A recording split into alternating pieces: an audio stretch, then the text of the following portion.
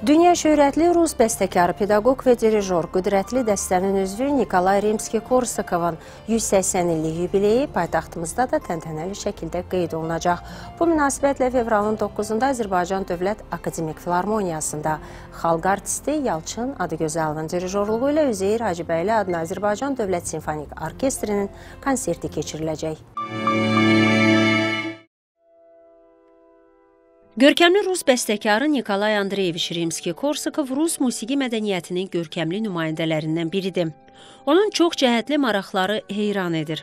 O, həm özünə məxsus musiqi teatrı yaratmış ilham verici bir bəstəkar, həm öz məktəbini yaratmış görkəmli müəllim, həm məşhur dirijor, həm orkestr haqqında ciddi elmi işlərin və bu günə qədər dərs vəsaiti olan orkestrləşmənin əsasları və harmoniya haqqında kitabların, məqalələrin, 15 operanın, eləcə də 3 simfoniyanın müəllifidir. Dəniz zabiti və musiqi filosofu olan Rimski-Korsakov hər zaman təbiətin və insanın əsl şairi olaraq qalıb. Yaradıcılıq irsi çox geniş olan dünya şöhrətli bu bəstəkarın bu il anadan olmasının 180 illiyi tamam olur. Onun yubileyi paytaxtımızda da qeyd olunacaq.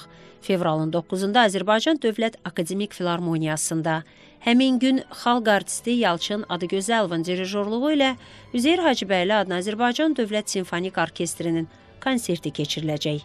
Fatimə Cəfərzadə və Mahir Tağzadənin salisliyi ilə baş tutacaq musiqili gecədə Nikolay Rimski-Korsakovun bəstələdiyi Şəhrizad simfonik suitası, Mlada opera baletindən Yürüş 3, Çar gəlini operasından fraqmentlər, həmçinin İspan Kapriçosu səsləndiriləcək.